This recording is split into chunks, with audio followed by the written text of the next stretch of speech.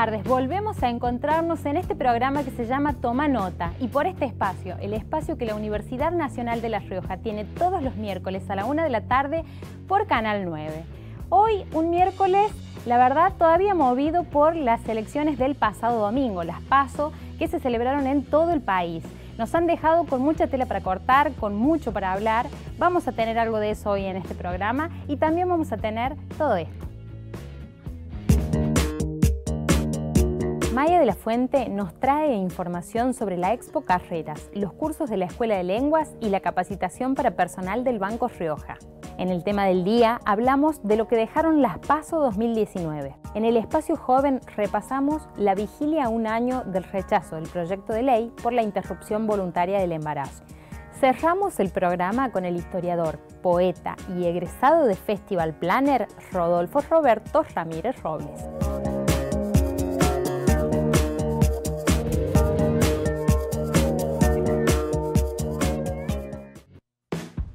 Aprovecho también y los invito a ver todos los contenidos de UNLAR TV en nuestra página web www.unlartv.com.ar y en las redes sociales.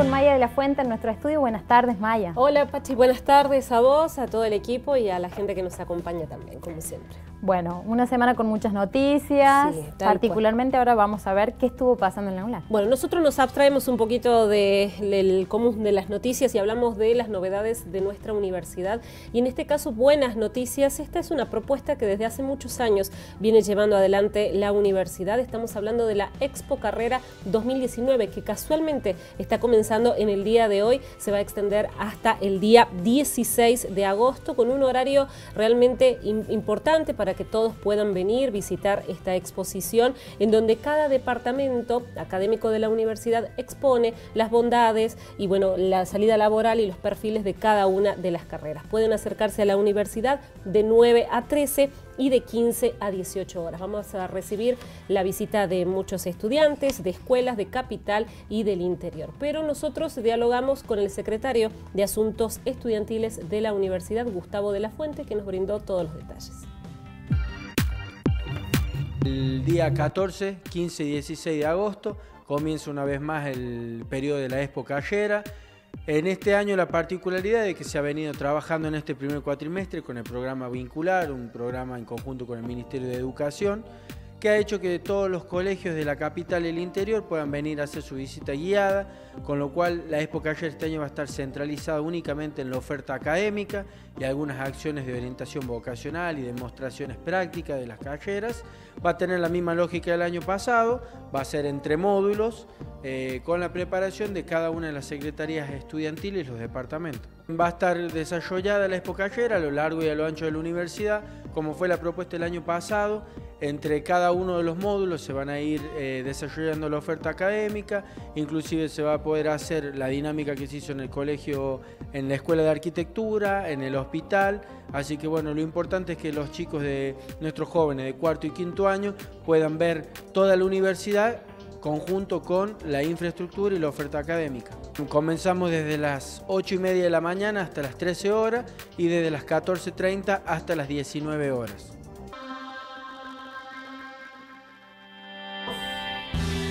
Bueno, a todos los estudiantes, a todos los que están por finalizar sus estudios secundarios, la recomendación si pueden también venirse, dar una vueltita aquí por la universidad hasta el día viernes, va a estar la exposición y conocer también un poquito el perfil de cada carrera, hablar con los graduados, con los estudiantes, que los va también a, orientar y a dar un buen balance de lo que trata cada una de las carreras que se ofrece. Es una muy buena oportunidad para acercarse a la universidad, hay muchos chicos, muchas chicas que no conocen la universidad y que está bueno que vengan, que que hablen con otros estudiantes y con graduados mismos también que pueden encontrar capaz ahí dando vueltas, ¿no? Tal cual, Pachi. Cambiamos nosotros de tema y hablando justamente de ofertas académicas, en este caso la Escuela Superior de Lenguas está lanzando esta nueva propuesta académica, una nueva oferta académica ya para este segundo cuatrimestre. Nosotros estuvimos dialogando con Darío Agüero, quien es secretario eh, de la Escuela Superior de Lenguas y nos estuvo contando todos los detalles al respecto de los nuevos cursos.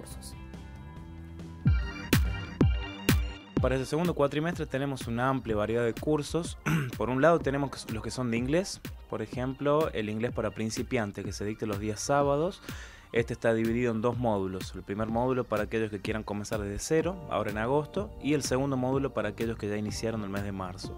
También tenemos cursos de lectocomprensión, que son para, para cursos de maestrías y para alumnos de medicina también. Se brindan estrategias de, de lectura para que los chicos puedan leer los textos académicos que les brindan las residencias generalmente. También en cuanto a inglés tenemos lo que es inglés para viajeros, que está dirigido básicamente a aquellas personas que suelen viajar a países angloparlantes o que tienen el objetivo de hacerlo en algún futuro. Y tenemos un inglés que es un nivel preintermedio, sería un nivel A2, que también se dicta los días sábados. Por otra parte, tenemos también otros cursos para ofrecer, como por ejemplo francés, que tenemos tres niveles. Tenemos el nivel inicial, el nivel preintermedio y el nivel intermedio. Tenemos también el idioma árabe, que se va a dictar los martes de 16 a 19 horas. Tenemos lenguaje de la imagen fotográfica, que es un curso que se estableció hace algunos años, dos o tres años, y tiene bastante buena repercusión entre alumnos de, arte y aquellos que estén interesados en la fotografía en general. Y por último tenemos el curso de lengua de señas, que también tiene dos niveles. Un nivel 1 para aquellos que empezaron en la primera parte del año y eh, un nivel 2, también la continuación. El costo de la inscripción es de 3.50 y el arancel mensual es de 500. Esto se abona en Funlar, que es en el edificio de rectorado, en primer piso, y luego se tiene que traer el comprobante de pago aquí a la Escuela de Lenguas. Nosotros estamos atendiendo al público de 19 a 21 horas, de lunes a viernes,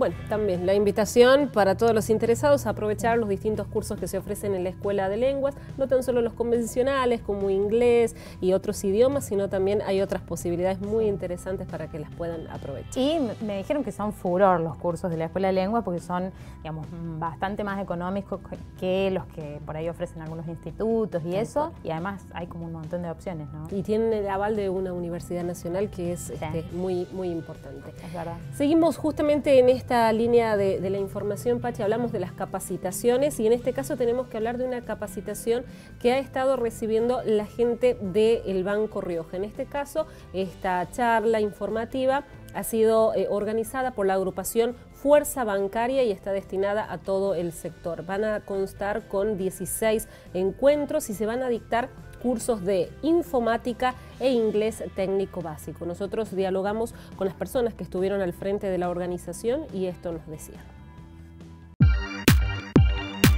Hoy iniciamos una línea de capacitación, en este caso dirigida a empleados bancarios del Banco Rioja, que a través del de, eh, gremio eh, Fuerza Bancaria bueno, nos presentó una línea de demandas concretas que ellos estaban teniendo dentro de la institución. Ellos calculan que van a ser 35 eh, personas por comisión.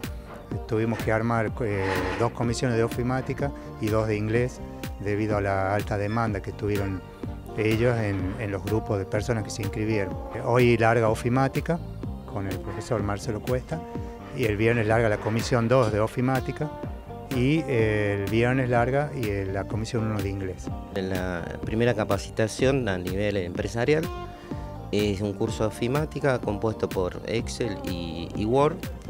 Va a ser nivel inicial, o sea que se larga de cero para el que no sabe nada.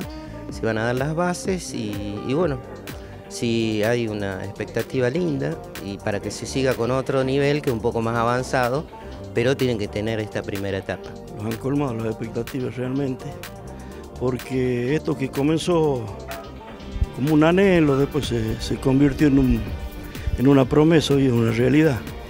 Y realmente agradecidos, tanto de la UNLAR que los abrió la puerta, del banco quien los aceptó el proyecto, y de nuestros compañeros que le están dando mucho valor a, a lo conseguido, ¿cierto? La verdad que estamos muy contentos, muy agradecidos. Este era algo que veníamos esperando y anhelábamos hace mucho tiempo y hoy estamos llevando a cabo eh, con hechos concretos, digamos, de iniciar nuestra primera clase del curso de capacitación, así que la verdad que estamos muy, muy orgullosos y también del acompañamiento que hemos tenido todos nuestros compañeros. Eh, la verdad que al principio pensábamos que íbamos a ser muy pocos y la verdad que nos hemos visto superados.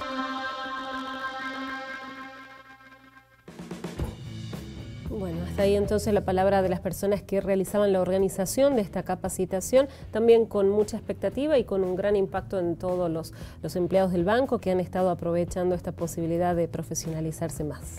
Me llamaba la atención, Maya, esto de cómo uno muchas veces no tiene en cuenta, eh, digamos, que se pueden coordinar acciones conjuntas en función de las necesidades concretas a nivel institucional, a nivel este, Em, digamos, social, que muchas veces eh, podemos hacer cosas conjuntamente, universidad con instituciones, para eh, bueno, que todo funcione un poco mejor. ¿no? Tal cual, y poder ofrecer lo que tiene la universidad, que es la, capacitación, el recurso humano, justamente para brindar estas posibilidades de mejoras en los trabajos de cada uno de los distintos sectores, en este caso el bancario. Eh, ah, se trabaja de manera conjunta fuertemente con la gente del Banco Rioja desde, varios aspectos y bueno, fue bastante más rápido y posible eh, concretar esta capacitación.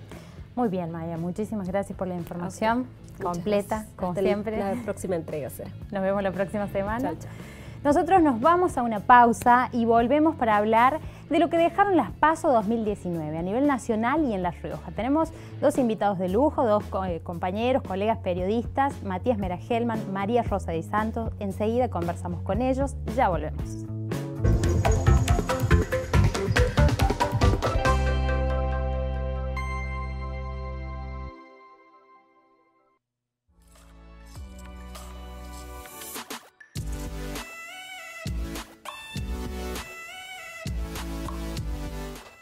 Esto es cuidar un lar.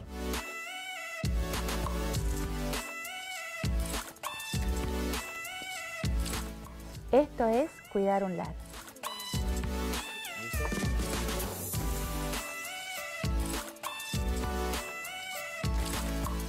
Esto es cuidar un lar.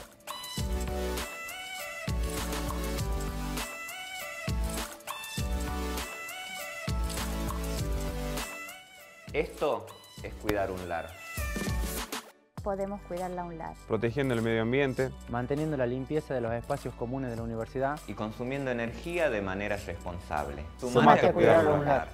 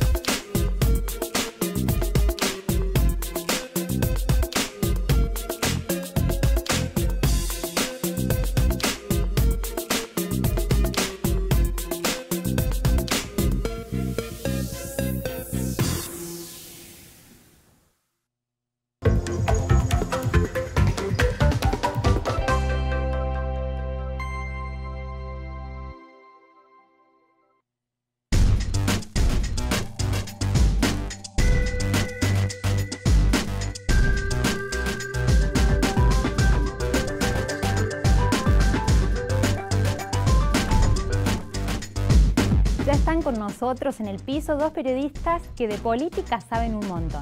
Con ellos vamos a estar conversando sobre todo lo que dejaron las PASO 2019, la verdad sorprendieron y mucho algunos resultados y además siguieron pasando cosas en los días siguientes. Vamos a estar hablando con ellos enseguida, en un ratito, y ahora vamos a ver un pequeño informe como para meternos en tema y vamos al lío.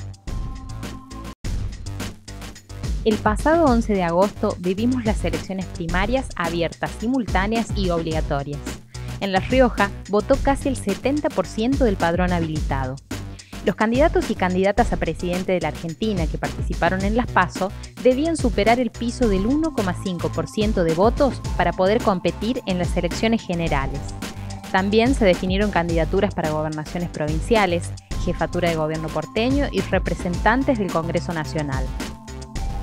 En las elecciones generales el próximo 27 de octubre, ganará en primera vuelta el candidato o candidata que obtenga el 45% de los votos o supere el 40% con una diferencia de 10 puntos sobre su contrincante. De lo contrario, habrá balotage el 24 de noviembre. Las PASO fueron un termómetro del escenario electoral de octubre. En el tema del día analizamos el panorama provincial y nacional.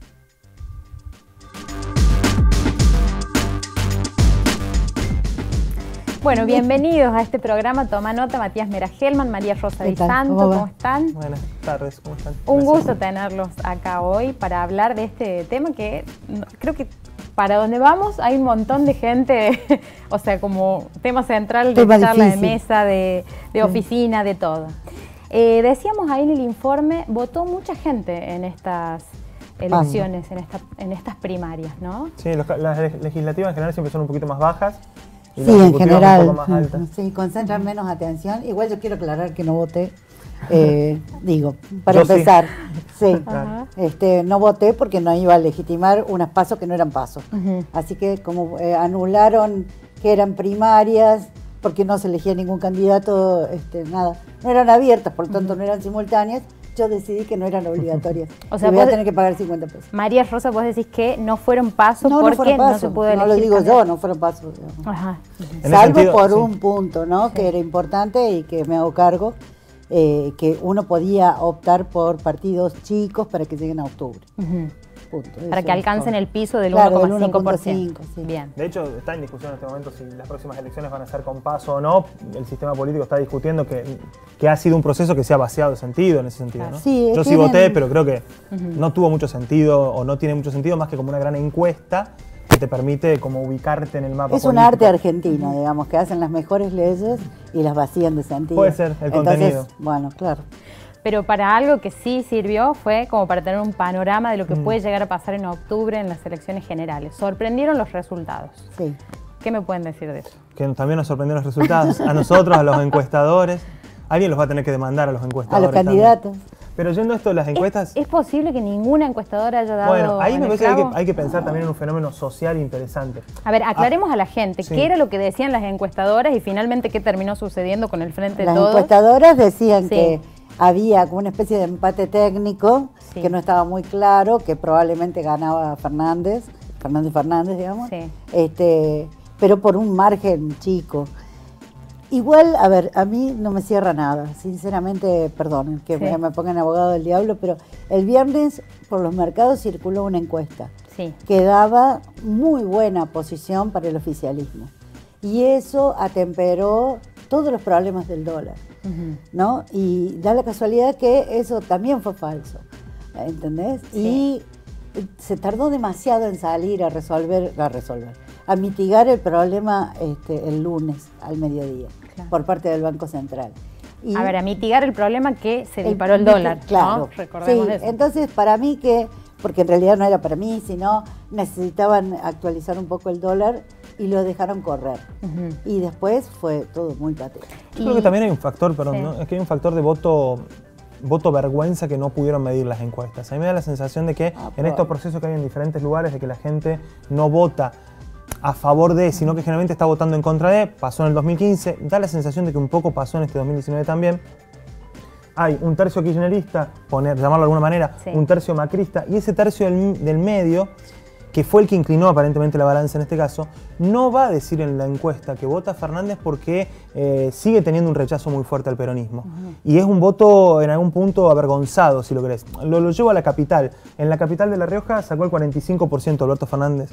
Y uno no tiene la sensación de que cuatro o cinco de cada diez personas que se encuentra estén defendiendo públicamente al gobierno que, que gestionó hasta el 2015. Entonces a mí me da la sensación de que también puede haber existido gente que votó y en esto del enojo con votar en contra de, no dice o no previamente no expresaba su eh, posición política. No sé si lo logró. Te escuchaba el otro día en la radio y decías, se cumplió un poco lo de la teoría de la espiral del silencio. Claro. No, digo a quién voto porque creo que puede pasar otra cosa, que quizás en eso tuvieron mucho que ver las encuestadoras. Bueno, también hay... También, porque no, no se creen las encuestadoras. Y hay mucha denostación de todos los votos. El que vota a Macri es eh, un, un globoludo, está descalificado, y el que vota a Cristina es un choriplanero.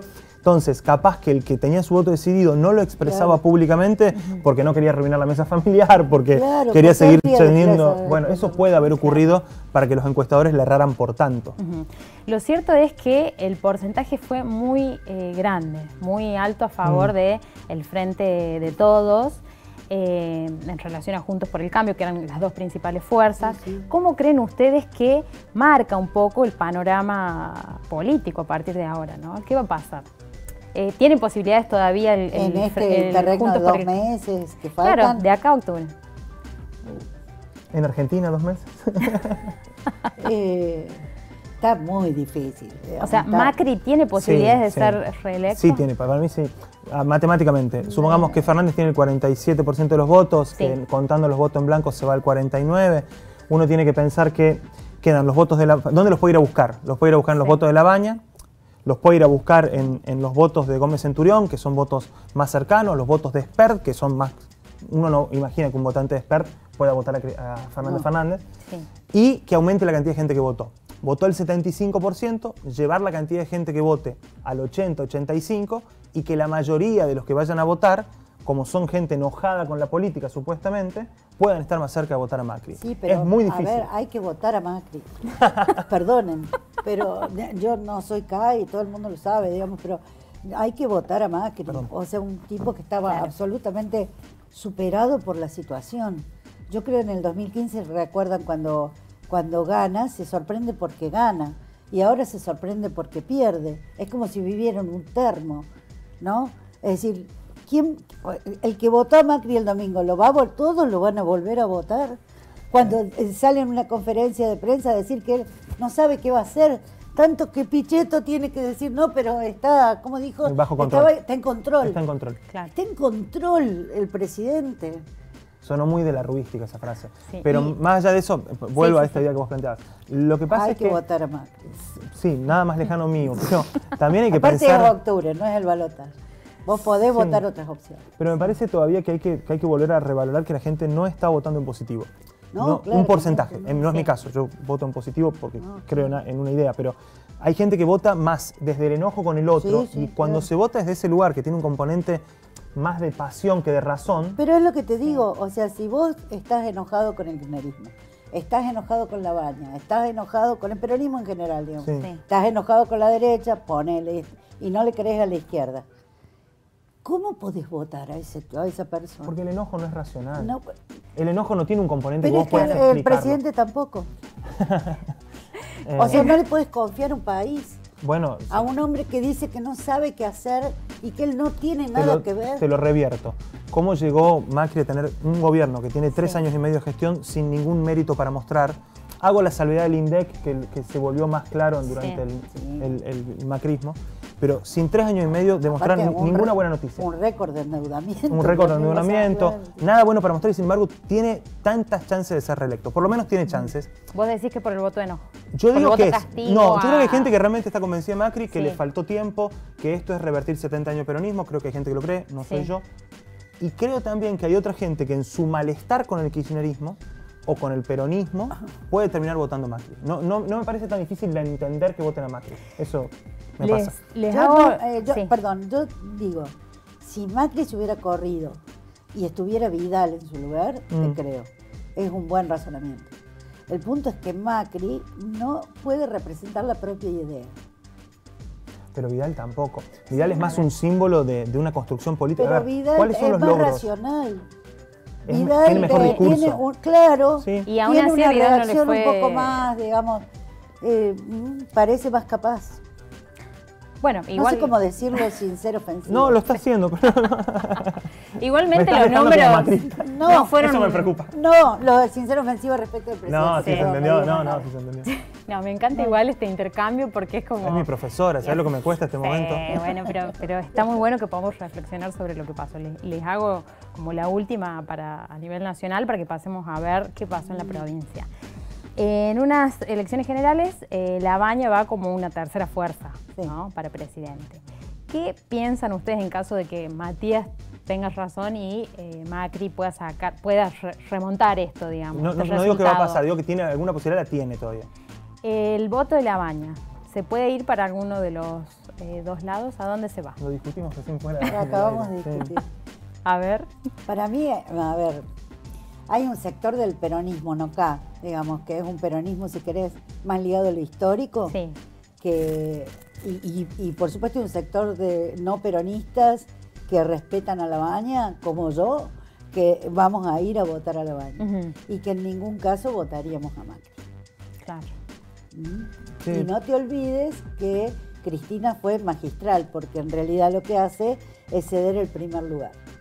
Entonces, eh, hasta ahí podés llegar a pensar, si Cristina te molestó mucho, digamos, como presidenta, sobre todo en la segunda presidencia, podés llegar a pensar, bueno, va a ser Alberto.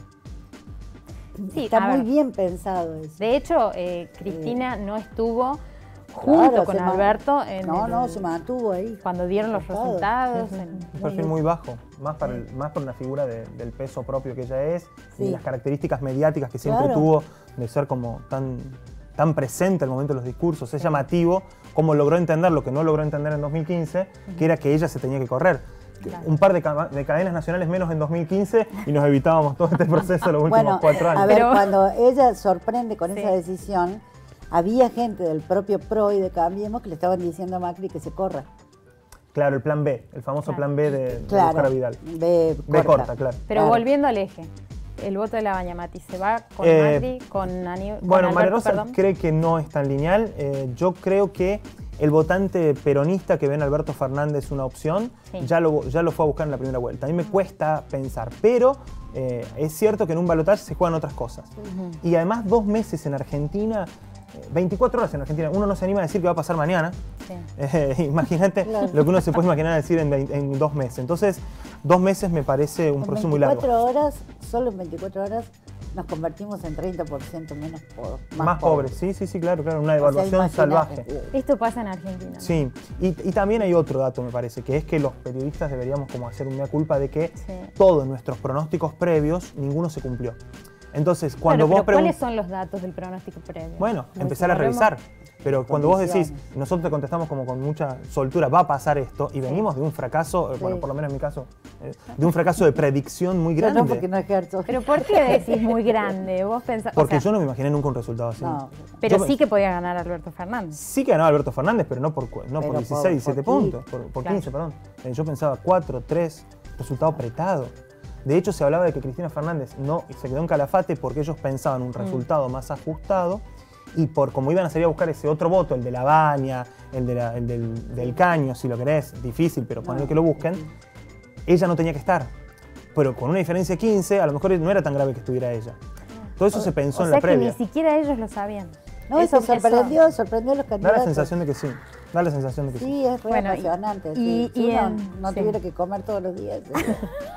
Muy apasionante. Si uno hiciera fotosíntesis. Claro. Y en La Roja también hubo un par de sorpresas, ¿no? El peronismo ganó, en, en- volvió a ganar en Capital después de un tiempo. Sí. ¿no?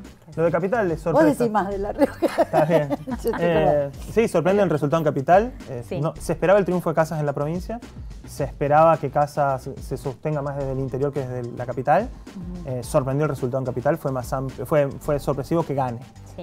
Y después, evidentemente, hay un fenómeno arrastre. Este, hay un factor que uno no puede dejar de mencionar, que es que Alberto Fernández arrastró. Eh, el corte de boleta favorece un poco más. O sea, más gente votó a Alberto Fernández que a Casas Sí. en el total de la provincia. Hay un factor desgaste de la oposición también pensando en que son eh, oficialismo que antes no lo eran. Hoy ¿Más tienen, gente votó a Alberto Fernández Sí. que a Casas? Sí, en el total provincial sí. Eh, un punto, muy poquito. Hay una diferencia, hay que ver el número final, pero muy poquitito, pero sí. Y después hay que ver el fenómeno Casa, que es un dirigente que también hay que analizarlo, me parece, que es eh, un dirigente, esto es muy personal lo que voy a decir, Sí. ¿no? pero que no me parece que tenga un carisma especial, que no me parezca que tenga una oratoria que uno le llame la atención, y sin embargo es el dirigente político con mejor imagen en la provincia. Y que ¿Vos todos los que por dirigentes... eso gan- ganaron las No, yo digo o- que tiene una imagen instalada de... Qué difícil cómo explicarlo, pero de buena persona Sí. más allá de la gestión. Yo creo que Casas tiene una imagen instalada que los propios dirigentes de la oposición te dicen que si las elecciones hubieran sido el 12 de mayo y no había todo este proceso de la enmienda Tunco, ganaba la reelección tranquilamente. Porque hay un fenómeno en Casas que, insisto, para mí no es desde la ora- la oratoria, no es desde el carisma, yo no le veo esas dos virtudes. Desde la gestión tampoco parecía una gestión tan, una gestión normal, si lo querés, sin Sí. grandes problemas y sin grandes logros. Y sin embargo hay una instalación muy fuerte. Bueno, nos estamos quedando sin tiempo y allá me hacen así con los dedos, pero no es Pero por... no es como- es No están por- festejando. Nos quedan dos minutos. Bueno. Este, bueno, ¿quién creen ustedes que van a ser los eh, próximos candidatos que se van a disputar la gobernación? ¿Candidatos o candidatas? Nosotros no. Bueno, ya Tiren, sabemos tiren. que Beder Herrera. Beder sí, Herrera Beder es ya lo dijo. Ya lo Beder dijo. Herrera ya lo Sí. dijo. Bueno, hay que ver si no baja su candidatura por esta unidad que él propone. Él propone que si hay unidad, él Sí. baja su candidatura. Claro. Ah, Habrá que, habrá que ver qué, qué arreglan para poder dejar los Sí. espacios bueno, para todos. ya teníamos uno, digamos. sí. Ver Herrera, Florencia López, No, Ricardo sí. Quintela. Sí, estamos diciendo nombres. Sí, igual no entiendo por qué llegamos a esta altura del año y a esta altura Y no del sabemos. proceso electoral y todavía no se pudo hacer una interna, porque no pueden con interna, no pueden con el dedo, no pueden. No pueden eh, hacer una lista. No Sí, pueden la oposición tampoco. Increíble. No, tampoco. La oposición le está Está pasando lo mismo. complicado. Bueno, Sí. la próxima, para las próximas elecciones esperamos tenerlos de nuevo acá. Muchas gracias. Muchísimas gracias por, por este panorama súper dinámico, entretenido. Y bueno, quienes quieran verlo pueden hacerlo desde nuestras redes. Vamos a una pausa, volvemos con Delphi Fausone y el Espacio Joven.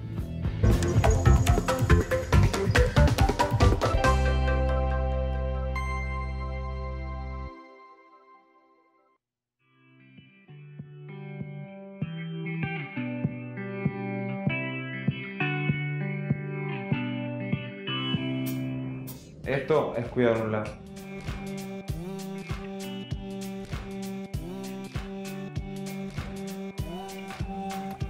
Esto es cuidar un lar.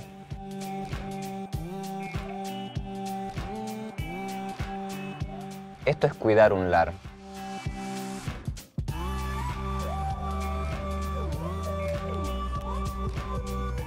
Esto es cuidar un lar.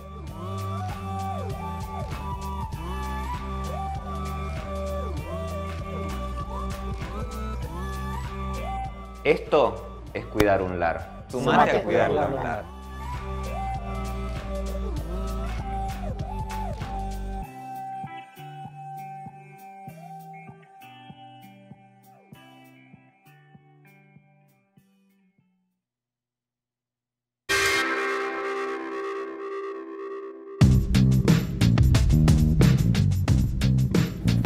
Nombre es Marcos Rosales y estudio la carrera de licenciatura en criminalística en la Universidad Nacional de La Rioja.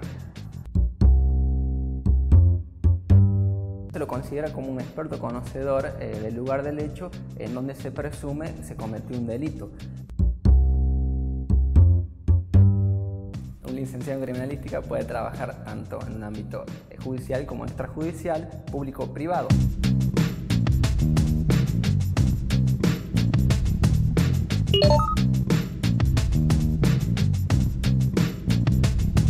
La ventaja que tiene esta carrera es que, a diferencia de otras universidades, eh, se dicta una licenciatura y la licenciatura abarca mucho más contenidos que por ahí tecnicatura.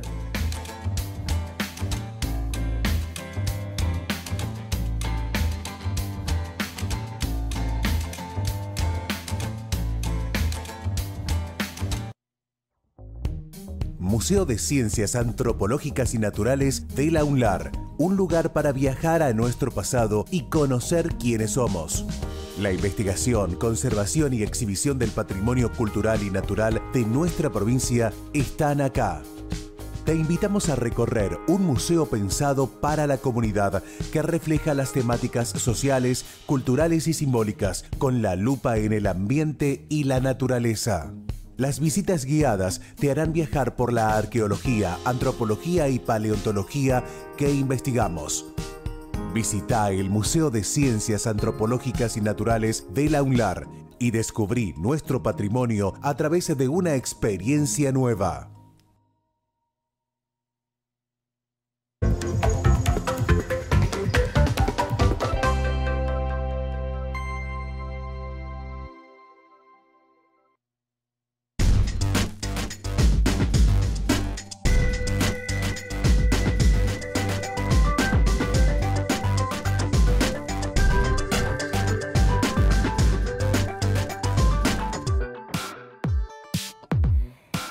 Abriendo este espacio joven con Delphi Fausone. Buenas tardes, Delphi. Buenas tardes, Pachi, acá estamos. Hoy para hablar de un tema, eh, digamos, que está vigente, sigue vigente en la agenda de todo el país. El 8 de agosto del año pasado, el Senado de la Nación rechazaba el proyecto de ley de interrupción voluntaria del embarazo, se cumple un año. ¿Cómo se vivió eso? Eso nos va a contar un poquito Delphi hoy. A ver, contame. Sí, bueno, hace un año la verdad que fue polémico todo el debate por la legalización del aborto. Eh, algo que se impulsó obviamente desde el colectivo de mujeres saliendo a la calle, pidiendo que se debata el tema como ya dijiste en el Congreso, abriéndole el debate a los pibis, en los secundarios, en el trabajo, todo el mundo hablaba de lo que fue la legalización del aborto, de lo que fue el proyecto de ley, de lo que fue el feminismo en sí, en realidad en el país. La verdad que estamos atravesando una cuarta ola feminista que viene con todo y que bueno, los jóvenes somos vanguardia, ¿no? Somos quienes estamos y ponemos el pecho ante la lucha de las mujeres, de la disidencia. Así que bueno, hace un, hace un año la verdad que fue una vigilia enorme eh, con un montón de artistas invitados acá en la provincia, se cantó, se bailó, eh, hubo una murga también. Em, y nada, estuvimos ahí muy expectantes de ver cuál era bueno, el resultado que al final fue la negativa por varios eh, senadores, ¿no? Que no, nos, no nos dejaron decidir sobre nuestros cuerpos a las mujeres y a los cuerpos gestantes, pero eso no nos hizo, por supuesto, bajar los pañuelos, ni siquiera guardarlos, porque con más fuerza salimos las mujeres para pedir por nuestro derecho, básicamente, a decidir y a tener completo control sobre nuestro cuerpo. Delphi, vos tenés 16 años. Sí. Sos muy joven, te vemos que venís todas las semanas con tu pañuelo verde, con una convicción muy fuerte, ¿no? Sí. Hay un libro que se llama La Revolución de las Hijas, de Luciana Pecker. Que estuvo en la Feria del Libro. estuvo en la Feria del Libro hace poco. Y eh, ella plantea que este cambio, digamos, de, mentalidad y, de, principios en algún punto viene dado por, eh, bueno, las chicas más jóvenes, las generaciones más nuevas. ¿Vos cómo, cómo empezaste con este camino de, em, militar ¿no? por los derechos de las mujeres particularmente eh, a decidir sobre nuestros cuerpos?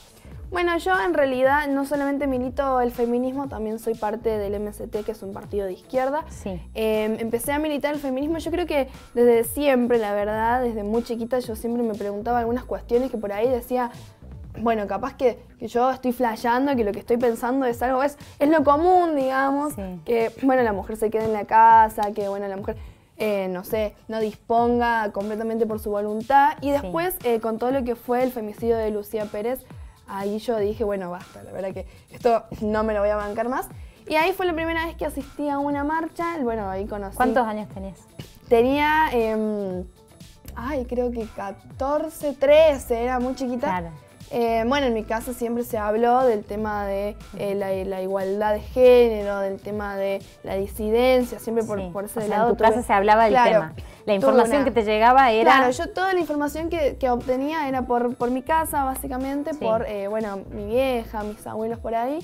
Y nada, siempre hubo una, una militancia que por ahí yo no conocía o, o no me daba cuenta, pero, pero siempre estuvo muy presente, así que siempre apoyando a las pibas, siempre apoyando a los estudiantes, a los trabajadores, que, bueno, somos quienes, quienes vivimos el día a día por ahí de otra, de otra forma, ¿no? Claro, es como un paradigma, que se apoyan distintos pilares, pero que siempre, digamos, está peleando por los distintos derechos. Claro, yo, yo siempre sostengo, y bueno, desde, desde donde yo milito, sostenemos que la lucha de uno es la lucha de todos, eh, porque como clase sufrimos estas desigualdades de género, em, de raza, eh, todo tipo de desigualdades, así que bueno, siempre estamos apoyando absolutamente todas las luchas, los expresos políticos, eh, todo lo que fue ahora la mega causa 3, la campaña por el aborto legal, por el ni una menos, mira cómo nos ponemos y demás cuestiones, siempre estuvimos muy presentes, todo lo que fue em, la cuarta ola feminista estuvimos muy arraigados eh, a lo que fue la pelea ¿no? en las calles siempre.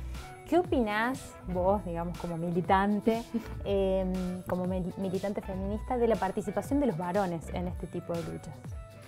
Eh, bueno, en realidad esto es algo... En este tipo de luchas, particularmente en eh, la feminista, digamos. Claro, bueno, esto es algo muy amplio, por ahí hay compañeras que no coinciden con mi ideología, bueno, también hay distintos tipos de feminismo, ¿no? Sí. Eh, yo, por ejemplo, milito el feminismo socialista, yo creo que los compañeros varones tienen que estar presentes eh, siempre y acompañando la lucha, eh, dejándonos obviamente como protagonistas, pero siempre acompañando la lucha que es lo más importante y lo más fundamental, porque el feminismo no es solamente de las mujeres, es de las disidencias y es de todo aquel que, pueda lograr o que haya logrado la desconstrucción, ¿no? porque vivimos en un sistema que, todo el tiempo nos implanta eh, cuestiones de género, cuestiones por ahí más biológicas, como, bueno, yo soy hombre y hago esto, yo soy mujer y hago esto, y en, en realidad no, uno es libre de hacer lo que quiera con su cuerpo eh, sin tener en cuenta la genitalidad que uno tenga. O sea, nosotros, o por ejemplo, yo no soy para nada biologicista, para mí cada uno es libre.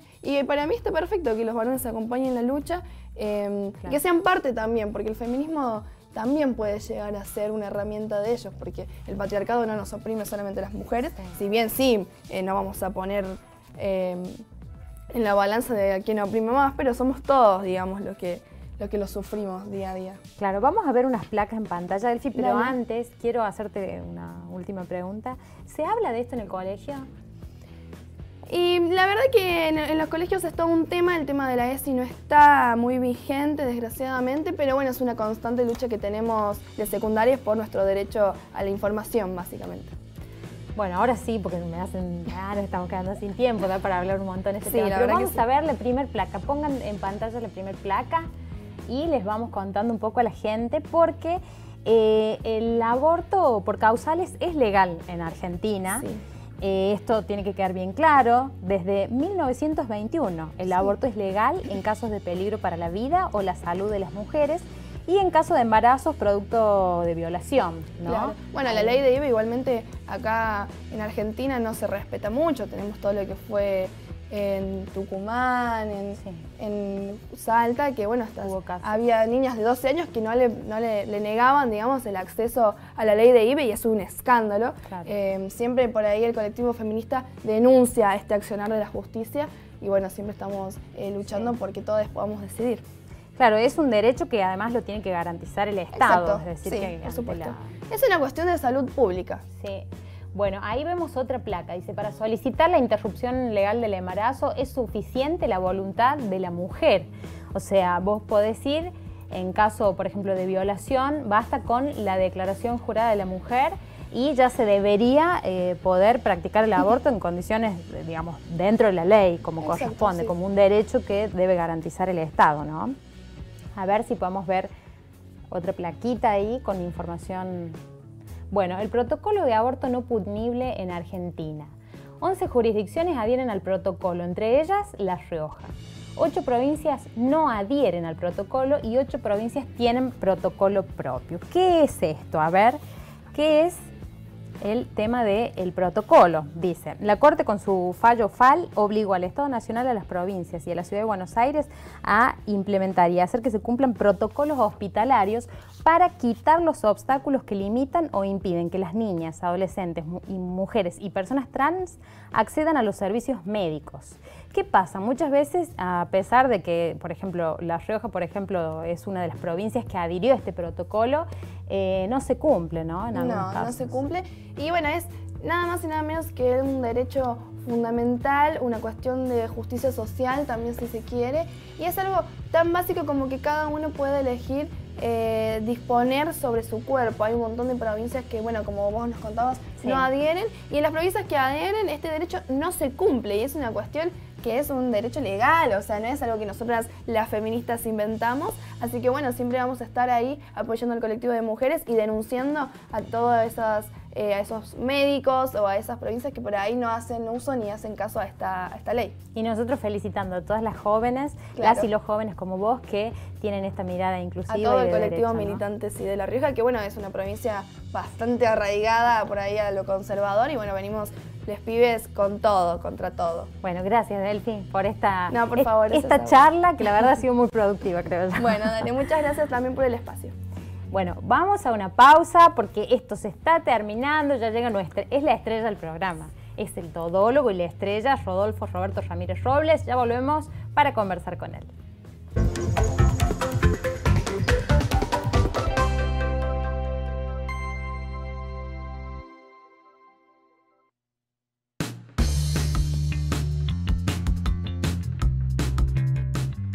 ¿Pensaste en estudiar?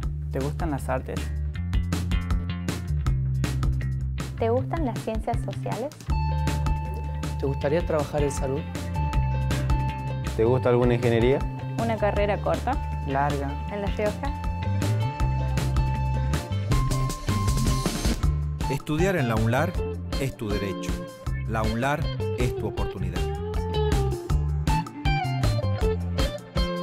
Bienvenidos y bienvenidas a esta casa, su casa.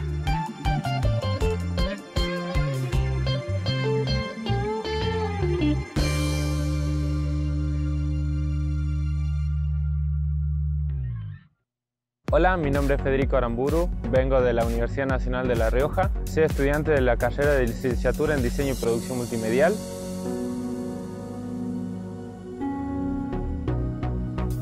Actualmente estoy cursando dos carreras paralelas en la Universidad Católica de Santa María.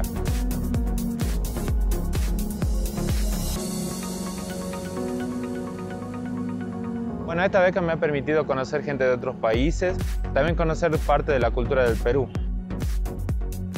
Apenas llegué al aeropuerto, eh, me pasaron a buscar parte de la familia anfitriona que me tocó.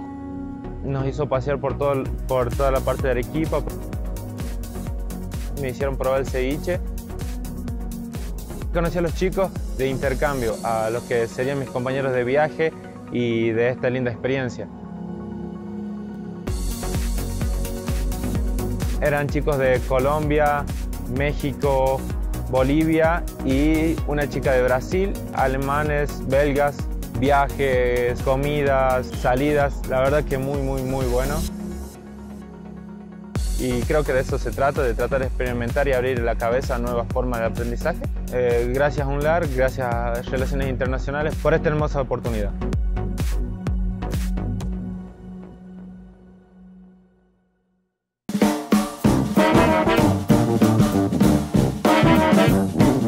Conciencia Riojana. Las investigaciones científicas contadas por sus protagonistas con un formato dinámico y novedoso. Todo lo que te gustaría saber sobre las diferencias sexuales del cerebro humano, curanderías, potenciales turísticos, obras artísticas y los virus que transmiten los mosquitos, contada en esta original producción de UNLAR TV. Conciencia Riojana, la divulgación científica y el aporte de investigadoras e investigadores de la UNLAR todos los sábados a las 18 por la pantalla de Canal 13, Televisión Riojana.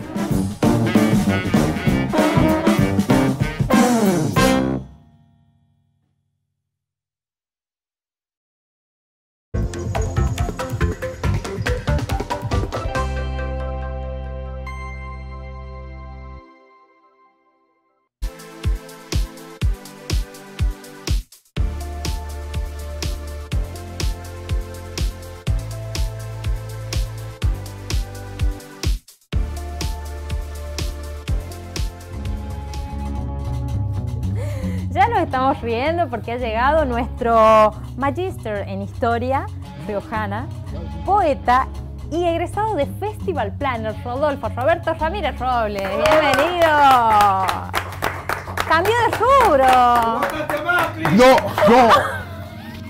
No, no, no, ¿saben que no? Yo lo quería decir, pero me, hostigan en las redes con esas cosas. no, no lo voté. El voto es secreto. una de las cosas que iba a nombrar el voto fueron las elecciones. Sí. El vota bien, ¿viste el vota bien? Sí. Hay, gente, hay todo un ¿Qué es debate vota con el vota bien? ¿Qué es yo? De quién, depende de quién te diga vota bien. Si me dice, "Va- vota bien, Aquí, eh, no claro, creo que no- vote bien. Ah, Así ¿no? que el vota bien tiene que ver con cada. No se ofendan con el vota bien, porque hay gente que cree que es como así, vota bien. Claro. ¿viste? ¿Qué Vos votás lo que bien? el voto es secreto. Y el cuarto oscuro no es tan oscuro, eso lo he descubierto en la última elección, porque yo hace muchísimo que no votaba. Ajá. Yo voto en Chuques. Sí. Y el cuarto no es oscuro, el cuarto oscuro. Yo llevé una linterna y es un despelote de casa. ¿Por qué y porque si me dicen que el cuarto es oscuro. ¿Usted por qué cree que se llama cuarto oscuro? Porque, ¿Por qué se puede llamar oscuro una cosa? Porque no se ve Porque nada. no hay luz, y bueno, sí se ve. Se ve, lo que no se ve es el futuro, eso claro. Es oscuro porque no se ve el futuro. Hay un tema con estas cosas nuevas tecnolo- de las tecnologías y de las redes, que, yo, que la gente va a hacer cosas en el cuarto oscuro que antes, antes iba a buscar el voto, no, ahora se Ahora, saca ¿qué hace? selfie, ah, saca fotos de los votos, hace un cosa para mostrarle sus historias. Y las historias estas que hablan de cosas, de internet, duran hasta un minuto, o sea que vos podés estar, hay gente esperando ahí. Tipo, Un no minuto tiene- con el celular. tiene que quitarle el celular, con el documento se tiene que quedar con el celular, el, el presidente me en la puerta. Y aparte ya Y los deja de- chicos, entran con Claro. los chicos. Pero ¿Se puede dar de mamar cuarto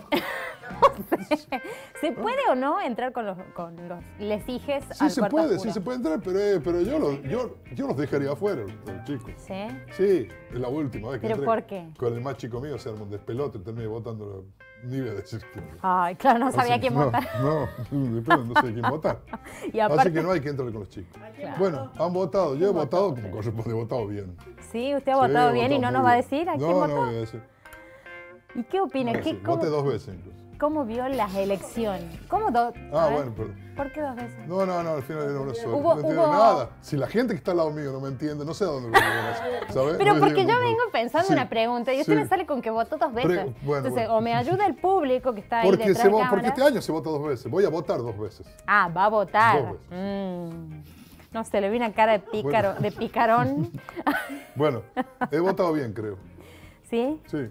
Y vio bien. Según la mayoría de la gente, sí. Con la que me Según la mayoría de la gente. El microclima me ha dicho que sí. que O sea que podríamos decir que usted votó lo que votó la mayoría de la gente. No sé, eso queda en consideración de usted. Yo no quiero ser, insinuar mi voto, porque yo soy una persona, soy un influencer, que es lo que me decía la Claro. directora acá, que no es influencer, sino imprudencer, que influencia a imprudencia. Claro. Que es peor. Que es peor. Claro, y dije dos veces que voté. Sí, en cualquier claro. momento acá, digamos, eh, chau, suspenden el escrutinio Sí, porque... sí, por voto Bueno, claro. Bueno, Bueno, este, lindo, la fiesta de la democracia, bien que la gente haya votado, está bueno. Ir. Hubo mucha gente, en La Rioja Mucha hubo más del 70% de gente que votó, está bueno eso. ¿Por qué cree usted que votó Porque se ponen las pilas dirigentes, básicamente, y llevan a votar. Eh, Porque, ¿Cómo llevan a no, votar? quedó feo, llevan a votar. Claro. Aparte que llevan a votar, pero bueno, llevaron a que la gente vote más, se movieron un poco más. Ajá. Si hacen eso todas las elecciones, la democracia sería mucho más O sea, rica. ¿usted no cree que es porque la gente fue porque tenía No, ganas no, de la gente votar tiene de ganas, pero muchas veces no tiene la posibilidad. La, la- la- cuando los llevan a votar es porque no tienen la posibilidad de, De ir, llegar. de llegar hasta el lugar. Porque hay un despelote con los padrones y el tipo vive en el urbano 38 y vota en la aguadita. Claro, Y es tiene que tomar 14 colectivos para votar. Y dice, no, no voto, carajo. Entonces ahí está el dirigente que pone su auto y, y- Al y- servicio y- de- al servicio de cosas y lo lleva. Autos que tenían señales, como remises. Pero bueno. ¿Cómo se...? Ah, remises. Claro, ¿pagaban remises, dice usted? No, no. Usted está poniendo, me está Sí, poniendo en mi boca cosas que yo no he dicho. Mi, mi función es interpretar los datos. Me- Si no me da los interpele. datos- Remiseros, milita- remiseros militantes, remiseros militantes es muy bueno. Sí, Claro, sí, sí. sí. mire usted. sí. Son Bueno. los famosos remiseros bolsoneros incluso. Claro. Dice que se encontraron algunos... Ay, hubo un despelote en un barrio. Que después me encontré con el dueño del lugar ese y me dice, sí, nos han secuestrado 80 bolsones. 80. En el fondo teníamos 1500 que nunca lo vieron. No, me digas esto. digo. No, bueno, y usted está haciendo la denuncia públicamente No, ahora? pues ya, porque ya está. Cálculo que en octubre no los tendrán ahí. No va a decir el otro- nombre de no su harán, amigo. No harán esa, esa. El Bolsonaro ha quedado, discúlpeme que, que por ahí esto va a ir en contra de, la- de los principios democráticos, pero Sí. el Bolsonaro ha quedado como una cuestión folclórica más que, más que de Claro, ya no- clientelismo. Ya no, se usa, me parece. No, pero tampoco el, el, el clientelismo ahora está como más, el, el tipo te exige más cosas. Como En mi barrio entregaban aire acondicionado. aire acondicionado, Sí, pero... sí, sí, uno por casa. Si vos no le yo- claro, y bueno, O eran frío aprovechaban que en esta época de frío porque Claro. el tipo los compraba más barato.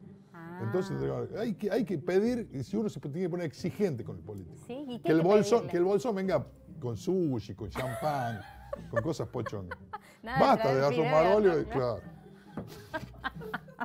y aceite berreta. Suyo nada. Que te doy ahí. Chori, yo no como chorizo. pero- Claro, no quiere ser, usted otra no quiere cosa. ser Le dije, choriplanero. le dije al tipo, tráeme otra cosa. Llamo ¿Y de seguridad. le no, no, nada. Vamos a que canto. Bueno, sí, O así. sea, no, no logra mucho. Sí. Escúcheme, y hablando de sushi y esas cosas. Vengo de la. Sí. No, cuando lo presentabas recién, que decía que usted es egresado de Festival Planner. Bueno, porque estamos organizando, nosotros hemos organizado eh, varios festivales, ahora vengo de, vengo de la agrupación Gaucho. Cuando yo vengo así, porque vengo de, de cumplir mi Sí, función lo Gaucho, veo vestido igual hace varios programas ya. y estoy vestido no así sé. hace dos meses. ¿Le pasa algo? ¿Usted quiere contarme algo? Porque- ¿Por qué no cambia la atuendo? Lo del, lo del poncho me resuelve un montón de cosas. Por ejemplo, puedo hacer eh, pis sentado sin tener que bajarme nada. Porque es como una O gran sea, pollera. Usted es poncho. especialista, especialista en crear imágenes mentales. Sí, sí, feas, feas. No sé Pero si es es, especialista pero en todo solicitud, pero- es, es como que estoy descubriendo otro mundo con el poncho. ¿Sí? Así que pues, sí, sí, eh, vamos a hacer, porque ustedes son muy quietos con esas cámaras, pero ya vamos a mover, empezamos a mover un poco esas cámaras porque estamos por traer gente que actúe y movernos un poco. ¿ah? Claro. Yo- así fluimos, porque si no estamos acá como muy estáticos. En cualquier momento nos arma, un- nos Sí. arma un festival acá. Lo del festival, estamos haciendo el festival del Priteado, Sí. con mi amigo Pizarro y mi amigo Guerrero, que son, en realidad, en realidad era, el, el Priteado es eh, bebida alcohólica con Priti. Ajá. que es una bebida, nacional. Es, un- es porque, es porque vamos en contra de, la, de, la, del- del- de, la- de estos grandes imperios que intentan a nosotros avasallarnos. Entonces estamos, se llamaba ñusteado porque era un, un- por la ñusta. Ah. Acá había una bebida que se llamaba la ñusta y el primer festival era el festival del ñusteado. ¿Y qué es la ñusta? Y la ñusta, una gaseosa, ¿no? ¿Conoce usted la ñusta? Y no sé, no, No no era del lado de Chepe, la de- no, de Chamical era la ñusta. Sí. No, no, eso no hemos probado, es un problema del tucumano, no lo meto. Toraciado. Dice, Festival Nacional del... Y así podemos seguir, de preguntar boludez. Claro, claro, claro. Eh, usamos la Claro. seco como opción, que es la que más se está usando porque por ahí no conseguimos. Y, y Sí. los muchachos han, han encontrado como una variedad. tiene- la seco tiene como otros varietales. Veo Sí. que, el, que, el, que la tiene uno solo, pero la seco. varietales. La la, seco tiene la varietales. gaseosa se hace con varietales. Varietales de limón, pomelo, eh, eh, lima, limón, tajarina. Tiene, todas tienen un gusto un poco parecido, pero, pero, pero, pero tienen, están como marcados y sus varietales. Y el varietal, el sommelier del Sí. El sommelier del priteado no es, no es, es el tipo que te, que te lo... Que, Pero porque vos le das la canta graduación priti o el justa. vino? ¿O la otra El- bebida el vi- generalmente es vino, vino en caja. El vino en caja. Bien. No, el priteo se banca lo que sea, plástico doblado a la punta, lo que sea. El priteo se banca el momento del priteo. Parece que es después- especialista usted. El priteo no es ni para, ni, para, un- ni para comer ni nada, el priteo es para sentarse en el corón de la vereda con un buen sándwich. Bien, ¿y cómo Y el sería un, el festival nacional bueno, del priteado? No es nacional, es itinerante. Yo puse nacional, estamos intentando que sea nacional. Estamos intentando, es itinerante porque, porque nos va- no nos van dejando en el mismo lugar. Porque ¿No? la gente, el tema del priteado, el azúcar con el alcohol, Sí. produce un efecto en el que lo toma. Que, que el que lo toma no se da cuenta tanto como el que como el vecino. ¿Me entiendes? Claro, el que lo está El mirando. que lo está digamos. mirando, ¿sí? O está padeciendo lo que No se da cuenta. No se da cuenta. Entonces nos van corriendo. El último lo quisimos hacer el Jack Camp y nos, y nos corrió. Bueno, me dicen acá que ya podemos ir cerrando. ¿Quiere decirme algo? Se va a hacer empezamos con el festival del preteado. febrero pero- 2020. Sí, sí, febrero Ah. 2020 lo vamos a desarrollar en el próximo programa, si me deja acá la gente de producción. Y sí, porque la verdad que usted Sí. se va por las ramas. Mire, se va No, pero, pero tenemos. Yo sé, está bien que hoy vinieron estrellas como María Rosa Di Santo y Matías Mera Helman, que son los periodistas del momento, y entonces gusta, me dejan sin lugar para mí. Este, nada, yo la vengo remando acá, este es el programa número 21, ellos han venido una sola vez. pues, La próxima, veamos, Claro. o hacemos un micro. Todos títulos, y yo tengo más títulos que esta gente. Ay, no me diga. Sí, ¿Y vos sí, con todos lo los que trajo mostrando. acá? Sí, exactamente.